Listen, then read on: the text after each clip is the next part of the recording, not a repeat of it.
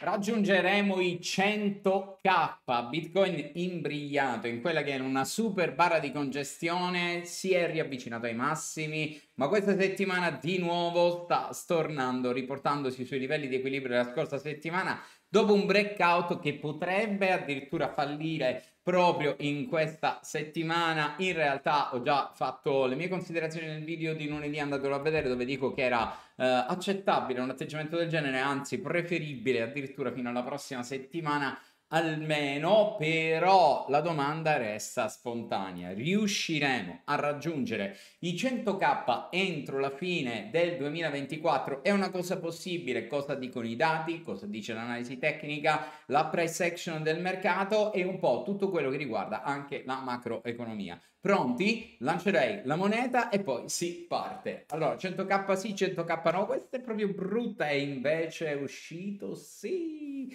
Allora, la moneta ci dà ragione ragazzi, dice che 100k sono raggiungibili, ma scherzi a parte. Adesso andiamo a vedere un po' di dati. Bene, ciao a tutti, bentornati in questo nuovo video e si parte ovviamente da una serie di grafici per rispondere a questa domanda. E se qualcuno non l'avesse notato, quando io faccio questi video ho gli occhiali da FOMO e gli occhiali da Bull Bull che dovrebbero aiutarci. Allora, mh, mm, analizziamo alcune cose che sono Uh, molto importanti, tra uh, i quali innanzitutto questo grafico che è quello settimanale, secondo me il più importante per fare questo tipo di uh, ragionamenti e poi andremo a vedere anche il grafico annuale perché questo grafico annuale noi lo facciamo ogni anno, cioè il grafico della candela dell'anno e proprio all'inizio di quest'anno ho disegnato questi livelli che vedete in sostanza i livelli di resistenza 1 e livello di resistenza 2 che poi è stato anche raggiunto quest'anno um, e, e, anche i livelli di supporto. Guardate come in effetti no, poi quando uh, le analisi, quelle che sono le cosiddette previsioni tra virgolette, eh, sono un po' più con orizzonti temporali lunghi, si eh, vanno a eh, delineare in maniera estremamente più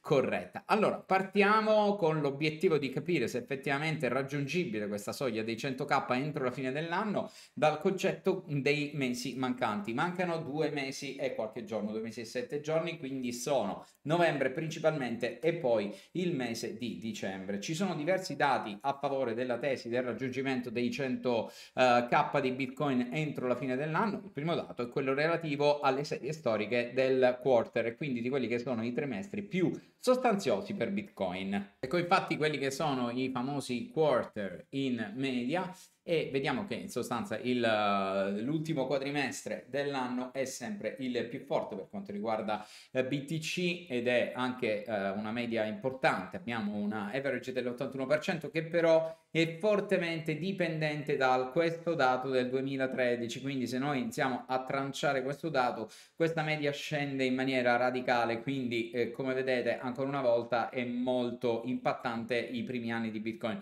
C'è da dire che anche negli anni precedenti precedenti e quindi nelle medie che riguardano per esempio il Q1, anche l'ultimo anno, l'anno del 2013, il, la parte iniziale della conteggio di questa statistica è quello più rilevante, quindi se vogliamo raffrontare queste due medie possiamo tranquillamente farlo, quindi in linea di massima eh, questo um, quadrimestre resta abbastanza forte per Bitcoin. Tra le altre cose abbiamo anche un altro dato molto importante, il mese. E uno dei mesi più forti di Bitcoin è da sempre quello di novembre, ma non no, un mese così. Cioè non è un mese dove quello di novembre è un mese forte in un certo modo, no, è il più forte di tutti i mesi. Novembre è sempre il mese più forte di Bitcoin a livello statistico, dove infatti è proceduto solo da ottobre, che è abbastanza forte anche questo. Nelle serie storiche, devo dire la verità, negli ultimi anni novembre ha deluso un po' le aspettative, tranne nell'anno 2020 in realtà gli altri anni è stato addirittura molto più rosso che verde, però nei primi anni della statistica era molto molto forte. È più ottobre che un mese che ha la tendenza ad essere quasi sempre verde rispetto agli altri, però poi novembre spara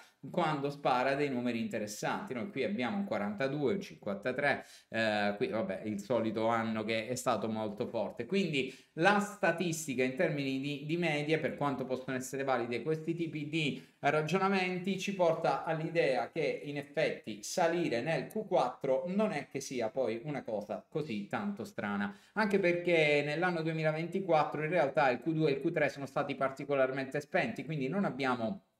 Uh, un anno particolarmente sostanzioso in termini di rendimenti, è comunque un anno interessante, eh, però non è un anno molto forte, soprattutto il Q1, quello dell'approvazione degli ETF è stato molto forte, ma gli altri due sono stati molto spenti. Quindi in linea di massima eh, rispetto per esempio agli anni verdi di Bitcoin Uh, questo anno 2024 non è così tanto stellare. Se infatti lo analizziamo anche in base, per esempio, all'anno 2020 era, era stato più forte, l'anno 2019 che era un anno anche più o meno verde è stato più forte. Eh, l'anno 2018 è l'anno del bear market, no, però poi abbiamo gli anni che non sono di bear market, quindi 19, il 20 e il 21 per esempio della precedente fase erano tutti anni più forti di questa attuale, quindi attendere un eventuale balzo di qualche punto percentuale in più nel Q4 non è una cosa così estrema. Quindi punto numero uno e ci siamo arrivati da un punto di vista di analisi delle serie storiche la possibilità di poter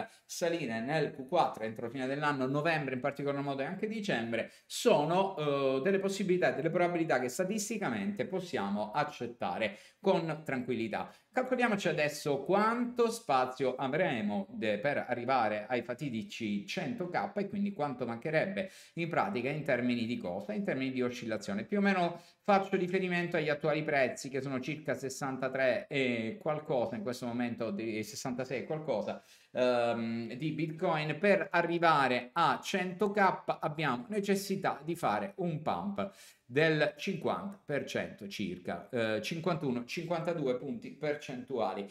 Questi sarebbero da aggiungere ovviamente al dato statistico, quindi qui um, avremo un uh, eh, Q4 che dovrebbe segnare circa 56-57% entro la fine dell'anno, quindi eguagliare eh, più o meno l'anno del 2023, sarebbe comunque più basso dell'anno 2023, però in linea di massima simile all'anno 2023, quindi in sostanza dovessi andare a prendere il grafico eh, in questione, dovremmo avere un pump similare alla candela che abbiamo avuto nell'anno 2023. Quindi in, in sostanza dovremmo avere quello che abbiamo visto qui traslato in uh, termini uh, pratici in questa zona. Uh, ovviamente ci porterebbe intorno ai 100k ovviamente qui è un po' di più perché è una percentuale quindi partiamo da un numero più basso qui invece da un numero più alto Uh, però in linea di massima la stessa tipologia di candela, un bel candelone verde che non è uh, da poco sinceramente e ovviamente va uh, tenuto in considerazione.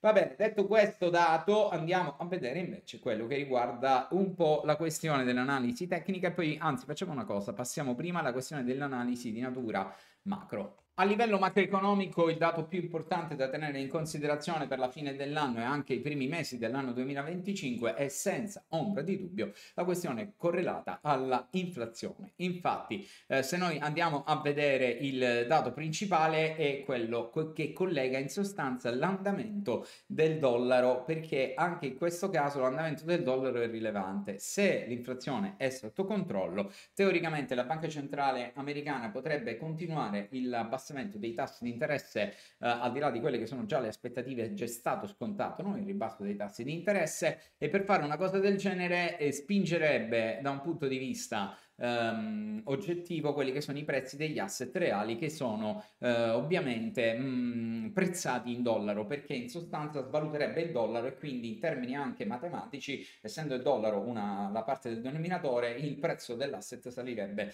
in termini ehm, oggettivi. Andiamo a vedere quello che per esempio è eh, nella eh, FONC del mese di eh, dicembre, che poi è quello più importante, l'andamento che viene stimato per quanto riguarda i ribassi dei tassi di interesse, cioè un ribasso ulteriore di addirittura mezzo punto percentuale. Quindi ehm, teoricamente dovremmo avere un'ulteriore fase ribassista abbastanza rilevante per quanto riguarda i tassi di interesse. C'è un ma ed è un ma anche molto rilevante. Se esiste effettivamente questa prospettiva di ribasso dei tassi di interesse, perché ci troviamo di fronte a questo tipo di andamento. Allora, l'andamento del dollaro che si è rafforzato in maniera importante nelle ultime settimane e è stato anche collegato al rafforzamento dei rendimenti dovuti alle obbligazioni americane che devono essere tenuti in considerazione. Quindi 28 giorni di rialzo per quanto riguarda la moneta del dollaro, probabilmente coincidente anche con la questione delle scelte della politica monetaria della Cina che ehm, dovrebbero essere improntate alla svalutazione della moneta in maniera tale da eh, rifinanziare l'economia cinese, insomma farla riprendere da un periodo di lunga crisi, però in linea di massima dobbiamo tenere in considerazione che il dollaro sta salendo, questo significherebbe che o le previsioni legate al ribasso dei tassi di interesse della Banca Centrale Europea e americana sono sbagliate, quindi non avverrà un tasso, un ribasso così importante, oppure vuol dire che eh, ci si ferma qui, cioè sostanzialmente che il ribasso di dicembre sarà l'ultimo in pratica e poi ci vorranno sei mesi o il mercato non sta scontando questa inflazione decisamente in declino quindi pensa che in realtà ci sarà un problema anche nei prossimi anni. La questione non è solo legata all'andamento del dollaro, come vi dicevo, ma è anche legata alla oscillazione dei rendimenti dei titoli di Stato americani che hanno ripreso nella stessa identico modo, per esempio questo è il ventennale, un rialzo, rialzo che non è per niente basso, perché vi faccio vedere dai minimi ai massimi un più 20% sul rendimento che è salito da circa il 4% al 4,60%, quindi cambiando un po' le sorti di questo trend laterale ribassista che si era innescato. È anche vero che ehm, siamo ancora in un trend teoricamente ribassista, così strutturato, quindi qui potrebbe finire insomma il tutto e ricominciare una gamba per appoggiarsi poi in questa zona dovrebbe essere naturale, il suo naturale arrivo proprio verso la prima metà del 2025 quindi il 3,6% di eh, rendimento quindi un ribasso del rendimento del titolo di Stato. Però in linea di massima questo rialzo è anche pericolosetto perché eh, sancisce che forse qualcosa mh, non uh, sta andando diciamo nella giusta direzione di quello che i mercati si aspettano a proposito ragazzi ve ne dico una adesso. Allora, se un domani dovesse assistere a una crisi del debito americano, quello che ogni tanto si tira fuori e qualcuno dice ma che succede, questo debito come si paga? D'altronde è preoccupante, no? Sono stato lì proprio eh, pochissimi giorni fa, ero negli Stati Uniti, in effetti c'è un debito assurdo. Volete sapere che cosa succederà? Succederà che questo grafico lo vedrete schizzare alle stelle e quindi prima di ogni cosa sarà questo grafico che ci darà pericolo, pericolo, pericolo. Quindi occhi puntati. Eh?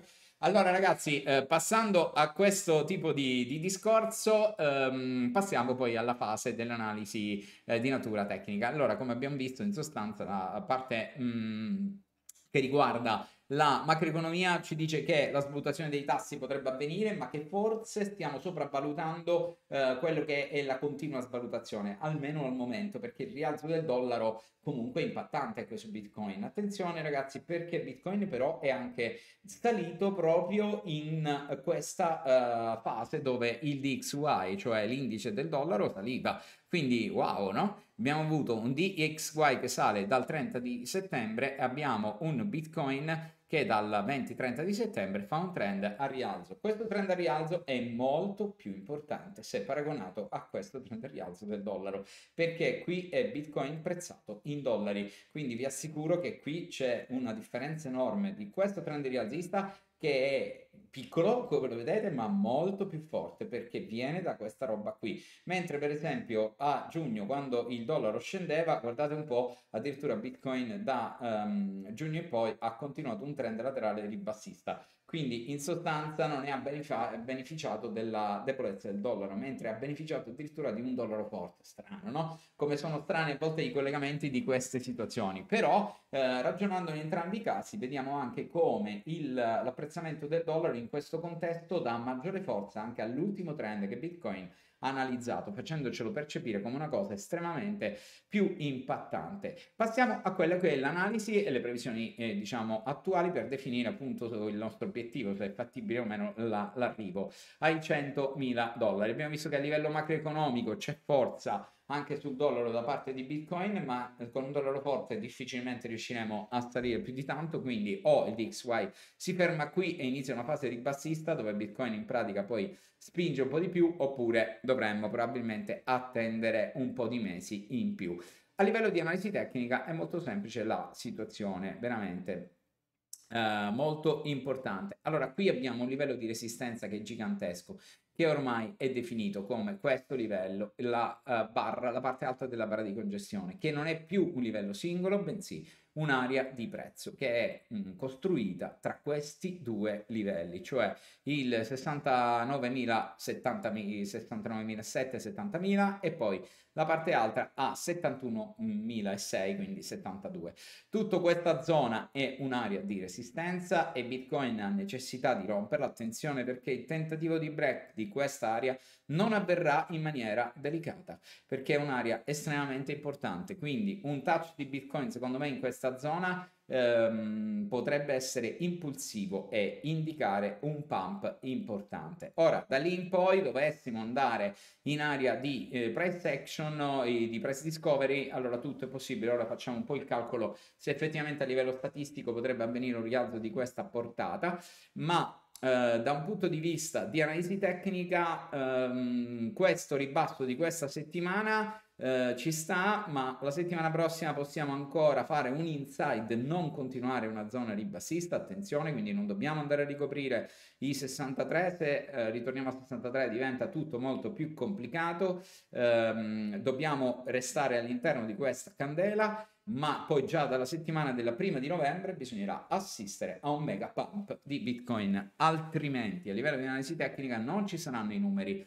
per poter uh, fare dei rimbalzi importanti, a meno di cose estreme che difficilmente vedremo secondo me in questi anni di Bitcoin con uh, gli ETF gli istituzionali che hanno preso un po' piede.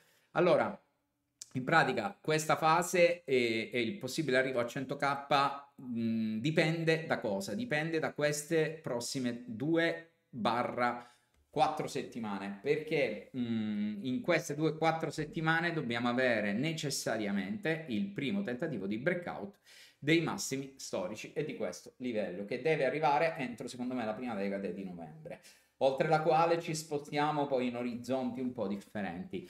Uh, se però arriva, chiediamoci, potrebbe essere possibile un rialzo adeguato? Per fare questa cosa dovremmo andare a ragionare sull'ultimo grafico che vedremo oggi. Attenzione, qui c'è ancora la previsione di plan B che io ho lasciato per eh, sorridere un po' tutti insieme. Intanto uh, cancelliamo, spostiamo questo grafico se no non lo vediamo. Uh, allora, um, intanto è importantissimo ragionare su questa questione legata a un andamento delle candele di natura mensile. Qui si evince il livello di resistenza mensile che è intorno a 67,7. Ciò già vi dà una soluzione. Il mese di ottobre non deve chiudere in questo modo, deve chiudere in una candela verde che si sposta sulla parte alta. Quindi noi dobbiamo avere una rottura di questo livello di resistenza che per quanto non sia importantissimo è importante. 67,5. Quindi prima pisaglia, chiusura del mese di novembre, sopra 67 e 5 deve essere importante. E, e già mh, secondo me poco. Dobbiamo andare anche su. Uh, intorno ai 70 sarebbe meglio. Comunque diciamo che quello è il primo livello. Poi successivamente novembre deve distruggere in maniera radicale la resistenza a 71.000 e qualcosa 72 che poi è la resistenza principale Dopodiché eh, da lì dovremmo o potremmo cercare di raggiungere il nostro target di 100.000 dollari, che guardate che è lontanissimo se si ragiona in questo modo, anzi vi metto qui il, mm, eh, la, eh, il numerino qui, quindi se guardiamo l'analisi tecnica è veramente molto rilevante, va bene che è questa zona che indicheremo con il verdino. Cosa significa a livello di estensione? Che dobbiamo avere un ottobre che chiuda appunto sopra questo livello minimo, ma anche il più forte possibile. Sarebbe meglio arrivasse appunto, come dicevo, sui 70.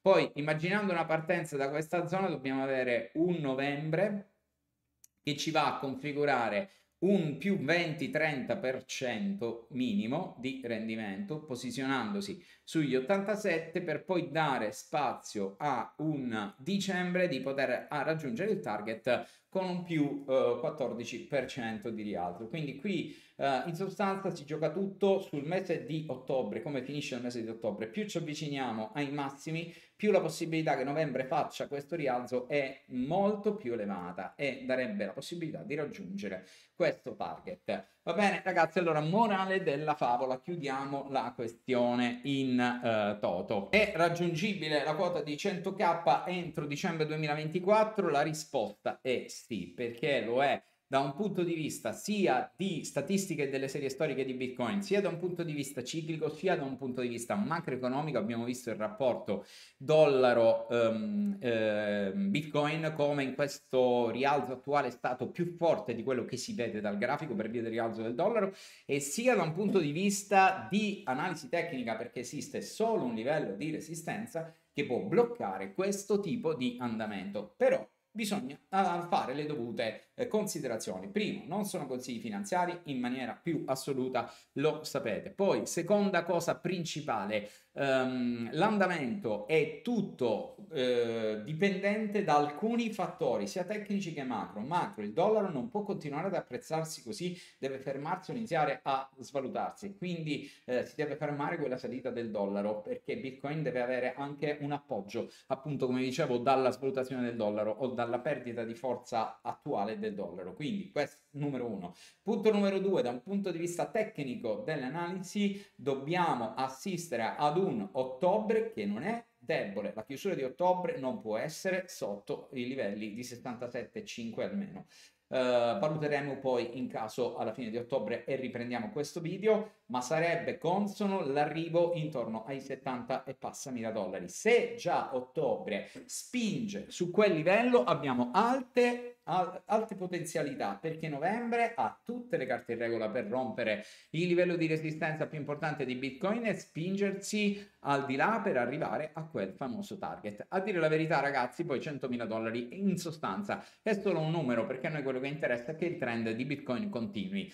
Chi se ne frega se poi 100.000 non li raggiunge e magari fa 97. Lo accetteremo comunque, ragazzi. Eh, non, non, cambierebbe niente. Però in linea di massima non cambiano le idee di fondo. Mese di ottobre deve chiudere in maniera più forte di cui prezzi attuali lo può fare con tranquillità novembre ha tutte le carte in regola per fare questi nuovi massimi. Cosa ne pensate? Scrivetemelo nei commenti e come sempre iscrivetevi al canale se ancora non l'avete fatto, seguiremo insieme come una love story questi prossimi mesi per vedere che cosa sta succedendo, quindi non perdetevi i prossimi video, va bene? Ciao a tutti!